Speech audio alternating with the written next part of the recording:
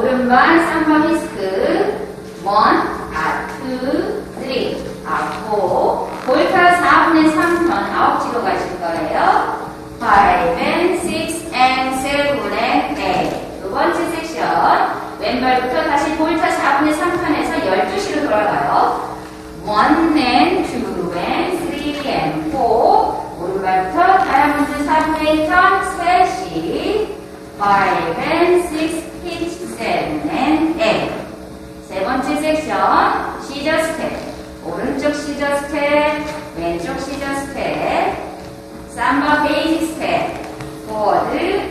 Small back 스텝에서 recover. Back으로 가요. Back, small forward 스텝, recover. 자, 마지막 섹션. 그대로 오른발부터 워, 워,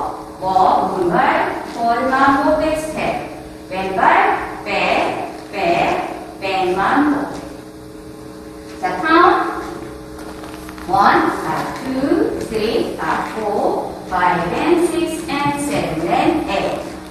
1 then 2 and 3 and 4, 5 then 6 and 7 and 8. 1 and 2, 3 and 4, 5 and 6, 7 and 8. 1, 2, 3 and 4, 5, 6, 7 and 8.